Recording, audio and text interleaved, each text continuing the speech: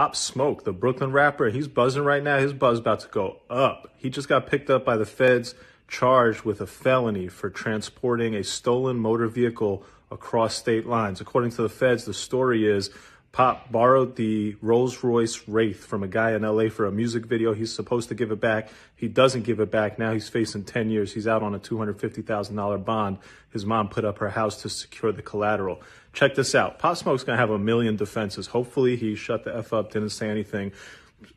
They didn't catch him in the Wraith, so doesn't even say that he possesses it. He has absolutely, they have no way of proving that he knows that it was stolen, right? He could just say, oh, I don't, I don't know. They, they told me I could keep the Wraith or whatever it could be. So he's got a lot of defenses, but that's not the point. It's not here nor there about the defenses. But here's the thing. You almost never see this type of charge in the federal courts, not when it involves one person and one car. Maybe if there's some big conspiracy to steal a lot of cars and move them around, then you'll see this charge. But other than that, this is always going to be a state court charge. The fact that you see it in federal court tells you two things. The feds are watching this man like they're watching a lot of other rappers. And two, they're going to try to put the squeeze on him and see if they could get him to give them information.